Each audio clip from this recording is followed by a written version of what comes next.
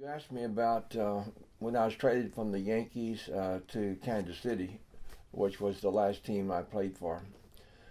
And uh, I came off a very good year with the Yankees in 1973, and I pitched more innings than I'd ever pitched in relief in my whole career. And and uh, so I was wanting to move uh, my family uh, with me uh, and I couldn't afford to unless I was guaranteed, you know, like a two-year contract. I wanted a two-year contract for from the Yankees, uh, so I could be more with my family. And uh, and uh, the Yankees uh, did not want to give me a two-year contract. They that was just unheard of at, at that time.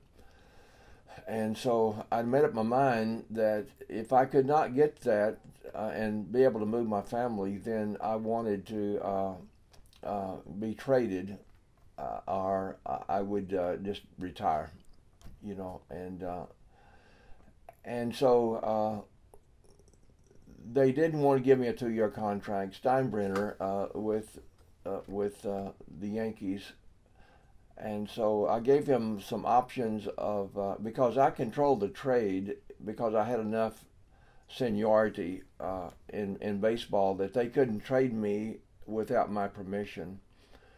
And so I gave them uh, several cities uh, that I wouldn't mind being traded to because I wanted to build a house and, and buy a house and, and have my family with me so I wasn't gone so much uh, from my family. And it's a big stress in baseball. You're gone so much from your family. And, uh, and so this was my thinking at the time, and so uh, the team that became interested in me was the Kansas City Royals, and I wanted to talk to the general manager to, to make sure that I was in a good situation, uh, and they would use me, and uh, and I wouldn't just uh, be there. And uh, so I saw, talked to Cedric Tallis, and he assured me, yeah, we, will use you, we want you, and everything. Well, as it turned out, uh, after I got traded there, uh, I, I, was traded for Lou Piniella, uh, Lou Piniella, which was uh, a, a, one of the favorite players of, in Kansas City. And it wasn't a very popular trade to trade me for Lou Piniella in the first place. And the Kansas City fans didn't know what I was doing in New York. You know, they were not, uh, they were into their own players, and and so uh, and then uh, I found out that uh, Cedric Tallis was a good friend to Lou Piniella, and they both went to the Yankees. So so now I'm in Kansas City, and uh, and what I was told was not true, and the manager. Uh, Jack McKeon uh, you know, uh, was did not like Lou Piniella, and they and, and they were crossways, and he wanted to get rid of him, and uh, so uh, it didn't matter how he did it, and so when I got to uh, Kansas City, uh, they were not about to use me the way I'd been used before, and with a lot of work and staying sharp uh, with with work. They they pitched me about once a week and once every two weeks, and uh, and it was bad. Uh, it's bad for my career, and um, I I went and talked talked to the manager, and and uh, it it was just like talking to a wall. You know, it, I was getting nowhere uh, with with him, and uh, and and so it was kind of an unpleasant experience that I had uh, with the Royals uh, at the last two years of my career. So in being traded to the Royals, I thought the the Yankees threw me a big curveball, you know, and uh, it was interesting because uh, the first time the Yankees came to Royal Stadium after I was traded, uh, the sports writers in New York were uh, talking about why don't you use Lindy? Why aren't you using Lindy? Because I'd I'd been a favorite, you know, in in New York, and uh, and they knew I wasn't being used, and uh, it was just uh, one of those crazy things. And I remember the uh, first time the Yankees uh, went to New York. I mean, the the the Royals went to New York, and actually they were renovating Yankee Stadium, so we had to play in in uh, Shea Stadium, where the Mets were normally playing, and uh, and so uh, the first game uh, we played there, uh, they brought me in about the sixth inning, and uh, and George Brett came over to me and he says, "Lindy, they're giving you a standing ovation," and I said, "What?" Because I was being booed in Kansas City because they traded me for their favorite player, you know, and so uh, I wasn't used to being treated very, very well and uh, and uh, the the Yankee fans that were there that day gave me a standing ovation because of what I'd done uh, for the Yankees, and so I I thought that was kind of neat for them to do that. And so uh, I did finish my career with the Royals, and uh, it was not that pleasant uh, for me because I wasn't pitched well, and and I think I I just retired probably before I should have because I was just kind of tired of the politics that was going on in the game, and uh, I just wanted out at that point, and uh, and so uh, so I retired, and some of the players were very surprised that I was retiring uh, because they didn't think that I should retire, and uh, and probably if I'd have stayed on like with the Cardinals, I think the Cardinals wanted me also at that time. Uh, you know, I could have possibly uh, broke uh, several records. One was all appearance, all lifetime appearances uh, record, and also uh, the wins in relief record, which I was very close to to that record anyway. And so uh, I could have ended up that way, but but I think at that point in time I was just thinking uh, uh, of my family and and I need to to make a transition out of baseball, and uh, and and I wish it it could have been uh, better that that I could have played as long as as I was really uh, capable and able to uh, perform, but it didn't quite work out that way.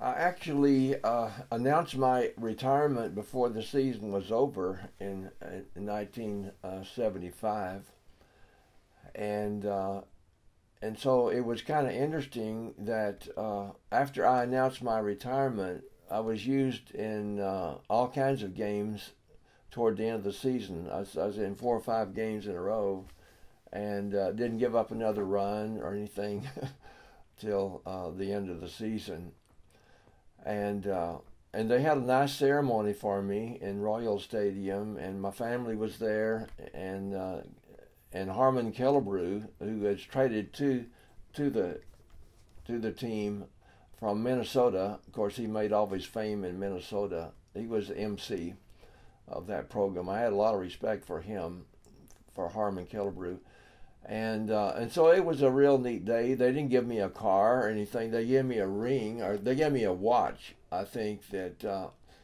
was all magnetic and looked like it was going to take off to the moon or something. I don't.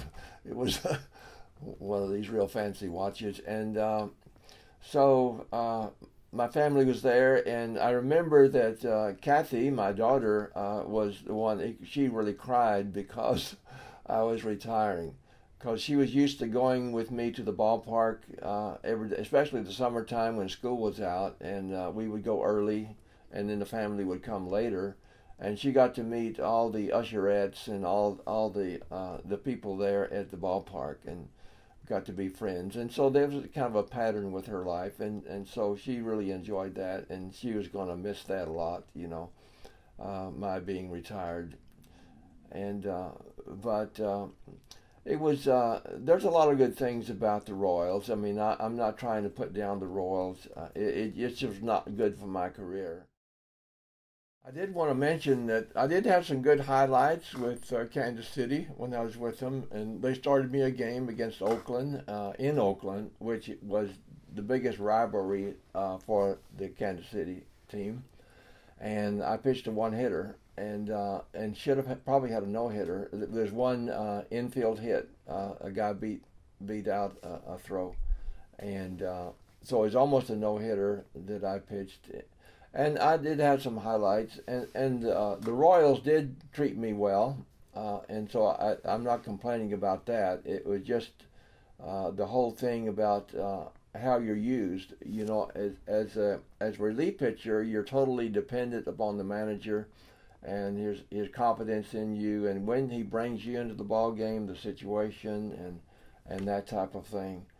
And uh, and it, it, if he's made up his mind that this is going to be uh, uh my uh, a top relief pitcher, then he's going to use you in a certain way. And they they did not do that, you know, and uh, in any way that was good for my for career and my production. So that was a disappointment, but uh, uh, they gave me uh, good good press at the end when I retired in um, this little ceremony that I talked about before, and uh, and then the press release of my retirement retirement was done by Dean Vogelaar, who was head of the uh, the press, uh, the publicity department in Kansas City, and uh, and and it's kind of interesting that Kansas City was where Rush Limbaugh started out years ago, as most people know him of of fame. Of course, I didn't know him at that time, and uh, but. Uh, but Dean Vogelaar put out uh, this release of, of, of my career and uh, this press release, and it was four pages, and it was really well done and uh, documented my entire career and made thousands and thousands of copies. And he gave me all kinds of copies of that. And, and so, and the Royals have always been good to me uh, in getting tickets. Uh, I could get any, whatever ticket I wanted in Kansas City when I was there. So, and we lived there for a number of years uh, after I retired. So, uh, so I, am not I'm not saying sour grapes. You know, uh, if if if I was more mature at the time and realized what can happen to you in baseball, I I would have been much more insistent as to where I went and the conditions, but. Uh, even even so, I would not know that I wasn't talking to people that were going to to affect my pitching in Kansas City. I was talking to people that were going to go to the Yankees and would have nothing to do with the situation. So, so I, I, I learned, I guess, a valuable lesson as we learn uh, through life and how to deal with people. So.